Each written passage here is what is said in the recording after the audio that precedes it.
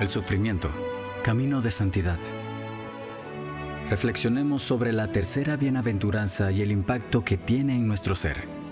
Si la transformamos en testimonio de vida, convirtiéndonos en la imagen de amor y misericordia que refleje a Cristo en todo nuestro actuar. Y tomando la palabra les enseñaba diciendo, Bienaventurados los que lloran, porque ellos serán consolados. Mateo capítulo 5 versículo 5. Llorar implica sufrimiento. Generalmente se llora porque se sufre, y el sufrimiento es algo que repele al ser humano normal.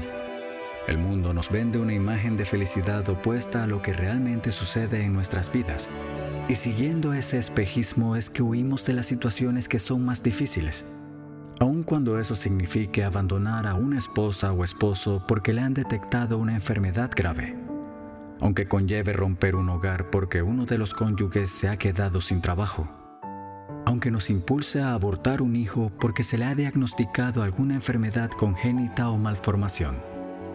Eso es lo que el Papa Francisco ha llamado la mundanidad espiritual, que nos impulsa a mirar hacia otra parte, a salir corriendo cuando hay problemas, cuando hay una enfermedad, cuando hay sufrimiento o dolor en la familia o a nuestro alrededor el mundo no quiere llorar.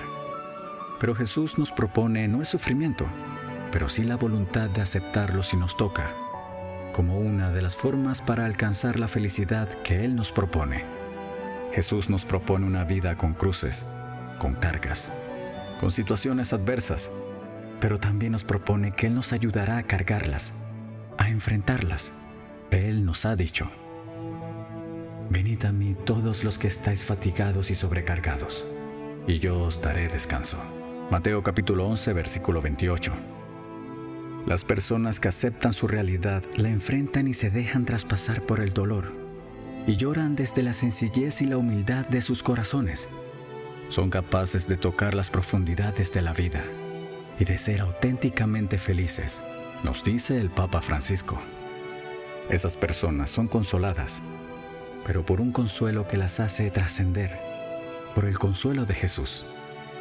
Y es así que reciben esa fuerza, esa gracia sobrenatural de atreverse a compartir y enfrentar el dolor ajeno, o su propio dolor, sin necesidad de huir de las situaciones dolorosas. Se convierten en auténticos guerreros del amor. Analicemos nuestra capacidad y sensibilidad para el dolor entendiendo que el aprender a manejar el dolor propio o ajeno nos irá preparando en la escuela de la santidad. ¿Cómo reacciono ante el dolor del otro o mi propio dolor? ¿Con frecuencia rehuyo al dolor? ¿Sé llevar mis cruces en paz? Si de verdad queremos alcanzar la santidad, es imprescindible que evaluemos nuestra actitud frente al dolor y al sufrimiento. ¿Por qué? Saber llorar con los demás. Esto es santidad. Cansado del camino, sediento de ti. Un desierto he cruzado, sin fuerzas he quedado, vengo a ti.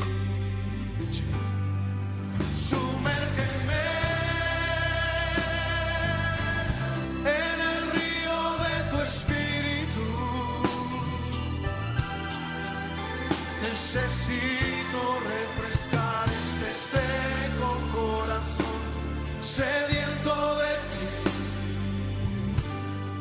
Sumérgeme, lo necesitamos, Señor.